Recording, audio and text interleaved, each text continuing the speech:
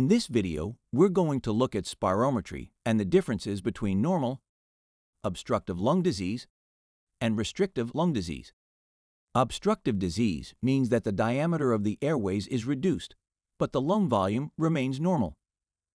Restrictive disease means that the lung volume is reduced, but the diameter of the airways stays normal.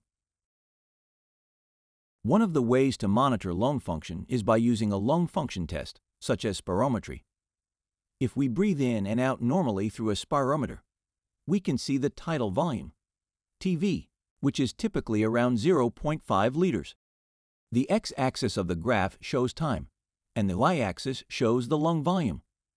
Therefore, going up the y-axis represents inspiration. The lung volume increases when we inspire and goes down on the y-axis at expiration. The lung volume decreases when we breathe out. Now imagine that you are breathing in as deeply as possible. This is the inspiratory reserve volume, also known as IRV. Now imagine taking a normal breath and then performing a maximal expiration. This is the expiratory reserve volume, or ERV. The air remaining in the lungs after the maximal expiration is the residual volume, or RV. Using these lung volumes, we can measure the lung capacities. The vital lung capacity refers to the maximum amount of air expired from a fully inflated lung. This means it is the tidal volume plus the inspiratory reserve volume plus the expiratory reserve volume. The functional residual capacity, which should not be mixed up with the residual volume, represents the volume of air remaining in the lungs after expiration of a normal breath. So it is the residual volume plus the expiratory reserve volume. A very important parameter is also the total lung capacity, which is the sum of all the lung volumes. For a typical adult male, it is about 6 liters, and we will use a typical adult male total lung capacity as an example in the following scenarios. This first graph represents a normal lung. Air rich in oxygen comes in and air rich in carbon dioxide comes out. The alveoli are inflating and deflating normally. To determine lung dysfunction, we need to carry out dynamic measurements of lung volumes and capacities. An important parameter is the forced vital capacity, or FVC, which is basically the same as the vital capacity, but by definition, it is the largest amount of air that can be expired after a maximal inspiratory effort. The forced vital capacity is frequently measured clinically as an index of pulmonary function. It provides useful information about the strength of the respiratory muscles and other aspects of pulmonary function. Let us draw this in a graph of normal lung function. Here we have the volume on the x-axis and flow through the lung on the y-axis.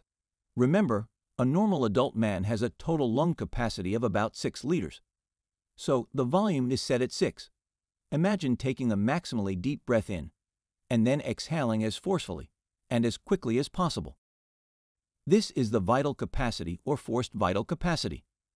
Thus, the remaining air in the lungs after a maximal expiration is the residual volume. We can look at the forced vital capacity on a different graph by also introducing time, and therefore we can calculate another component. Here we are looking at time in seconds on the x-axis and volume of air in the lungs in liters on the y-axis. This is the volume of air expired by a normal adult man during a forced expiration after a maximum inspiration, which again is the forced vital capacity, FVC. It is about 5 liters, and the volume remaining in the lungs after a maximally forced expiration is the residual volume. This is an important concept. The fraction of the vital capacity expired during the first second of a forced expiration is referred to as the forced expiratory volume, or FEV1. So from the graph, the forced expiratory volume in the first second, FEV1, is 4 liters. The forced vital capacity, FVC, is 5 liters. The ratio can be calculated. 4 liters divided by 5 liters is 0.8 or 80%. This is normal. We will now look at how this changes with certain diseases. Let's look at what happens in COPD, where we have gas trapping and obstruction of the airways. Many changes are seen in lung volume and lung capacities. In obstructive airway diseases, we can see an increase in total lung capacity. This is why it is common to see features of an enlarged chest in patients with COPD. The tidal volume remains the same, However, the inspiratory reserve volume decreases. The expiratory reserve volume increases, and the residual volume increases as well. Thus, if we were to calculate the lung capacities, the forced vital capacity is the same or maybe decreased. The functional residual capacity is increased, and the total lung capacity, as mentioned altogether, increases.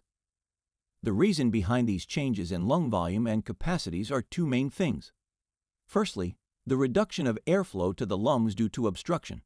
And secondly, there is air trapping, which means that air remains in the lungs at expiration. There is hyperinflation and consequently an increase in the functional residual capacity. Now let's have a look at this using spirometry and comparing it to the normal state on the left side. We are using the same graph with volume and liters on the x-axis and flow of air through the lungs on the y-axis. The black line represents normal forced vital capacity. Again, this is the largest amount of air that can be expired after a maximal inspiratory effort. This example shows obstructive lung disease. The whole graph shifts to the left because of an increase in residual volume and an increase in total lung capacity to more than 6 liters. The vital capacity, or forced vital capacity, remains the same, but all up the total lung capacity has increased because of the increase in residual volume. Here you can see the characteristic kink in obstructive lung disease patients during forced expiration. This is because of the obstruction.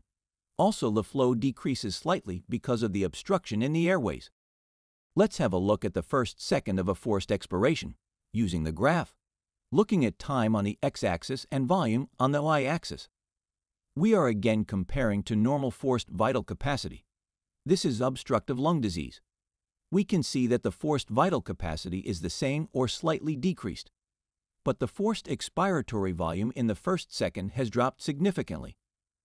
Obstructive lung disease can be diagnosed when the ratio between FEV1 and FVC is less than 0.7 or 70%. In this example, FEV1 is about 1 liter and the FVC is about 5 liters. So, 1 divided by 5 is less than 0.7 or less than 70%. And thus, this is an example of a person who has an obstructive lung disease. Finally, let's look at restrictive lung diseases. These conditions include, for example, pulmonary fibrosis or sarcoidosis. In restrictive lung diseases, lung compliance is impaired. The tidal volume remains the same, but the inspiratory reserve volume the expiratory reserve volume and also the residual volume is reduced. Thus, the forced vital capacity is reduced, the functional residual capacity is also reduced, and the total lung capacity is reduced too. The lungs become stiffer, and this stiffness leads to reduced lung volumes and lung capacities. Let's look at the forced vital capacity using a graph again. The dotted black line represents a normal forced vital capacity. Here in brown, the pattern of the forced vital capacity seen in restrictive lung diseases is shown. As you can see, it is shifted to the right. The reason for this shift and change is because the total lung capacity is reduced because of the restrictions. The residual volume is reduced and the vital capacity or forced vital capacity is reduced too. What about the forced expiratory volume in the first second? Let's look at the other graph again, with time on the x-axis and lung volume on the y-axis. A normal person shoots up, and the forced vital capacity goes up to about 5 liters. In restrictive conditions, here in brown, however, we see that the forced vital capacity is reduced dramatically, but the forced expiratory volume in one second, FEV1, is not as affected as seen in patients who have an obstructive lung disease like COPD. In restrictive conditions, FEV1 can be normal, or reduced depending on the severity and if the person has obstructive lung disease too. The FEV1 to FVC ratio is a useful tool in recognizing severity of airway disease and can help differentiate between COPD and restrictive lung disease. In restrictive lung disease, the FEV1 to FVC ratio is not as affected. For example, in this scenario of restrictive lung disease, the FEV1 is about 3 liters, and the forced vital capacity is about 4 liters. So 3 divided by 4 is 0.75 or 75%, and thus this can constitute restrictive lung disease rather than obstructive airway disease. In this video, we went through the differences between normal, obstructive, and restrictive lung disease as a basis to understand pulmonary function diagnostics.